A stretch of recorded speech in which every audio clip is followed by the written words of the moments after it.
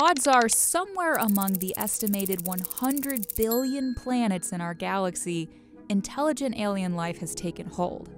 So the question is why haven't we found even a hint of it?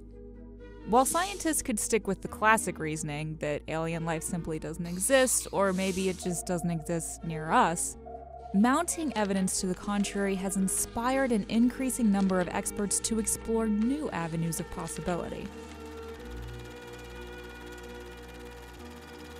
In 2017, a team out of the University of Oxford proposed the estivation hypothesis it's the idea that most aliens are hibernating, sort of like a bear, hmm?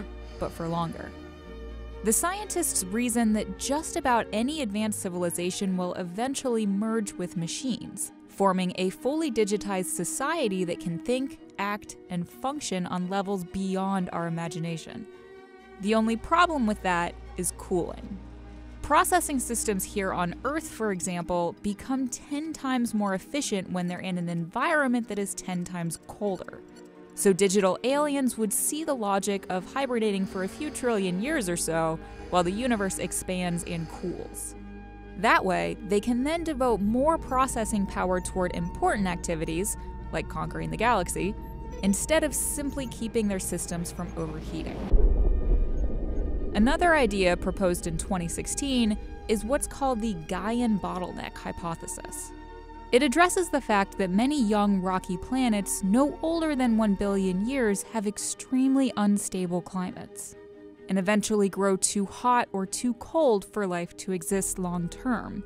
Take Venus, Earth, and Mars, for example. 4 billion years ago, each planet had the right conditions for life and may have even harbored simple microorganisms but as far as we can tell, only life on Earth survives today. The reason, according to the bottleneck hypothesis, is that early life on Earth evolved rapidly, releasing large amounts of gases like oxygen into the atmosphere that ultimately helped stabilize the climate. But this behavior is likely the exception than the norm.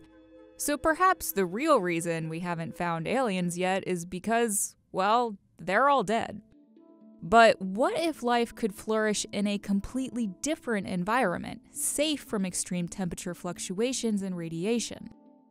That's what planetary scientist Alan Stern proposed in 2017, about a year after evidence suggested that Pluto harbors an underground ocean.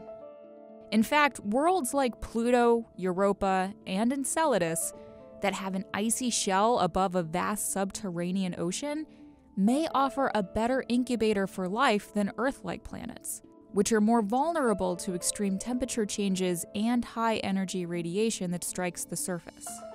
If this turns out to be the case, any intelligent life that may be swimming on these worlds would be shut off from the rest of the universe, potentially unable to communicate.